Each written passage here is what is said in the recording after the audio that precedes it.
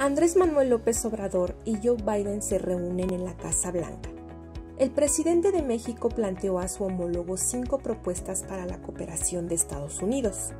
Garantizar el abasto de gasolina en la frontera para el mercado estadounidense. Más de mil kilómetros de gasoductos para transportar gas de Texas a Nuevo México, Arizona y California. Eliminar aranceles en alimentos y otros bienes para reducir precios a los consumidores de ambos países Iniciar plan conjunto de inversión pública y privada para producir bienes que fortalezcan nuestros mercados y eviten importaciones.